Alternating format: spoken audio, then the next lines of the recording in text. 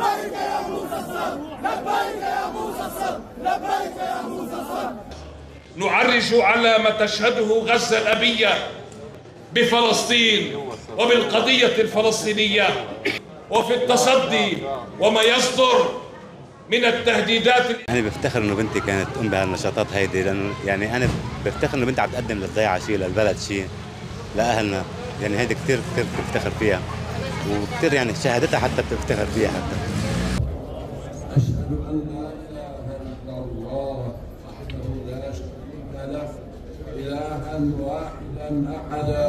المجتبى أرسله بالهدى ودين الحق ليظهره على الدين كله. اعتداء غاشم طبعا. مثل مثل الاعتداء على طول على على المدنيين وبيدعوا إنه عم عم يقاتلوا الحزب مثلا أو كوادر الحزب عرفت كيف؟ أو كوادر المقاومة. وبالنهاية هو عم يطلع شو كله مدنيين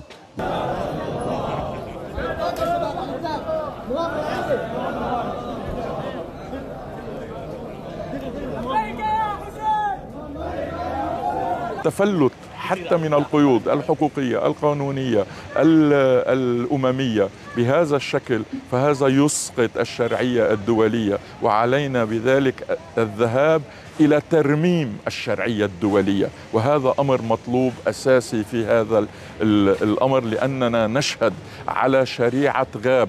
وشريعة الغاب لا يمكن أن تكون هي من تدير العلاقات ما بين الناس وما بين العالم.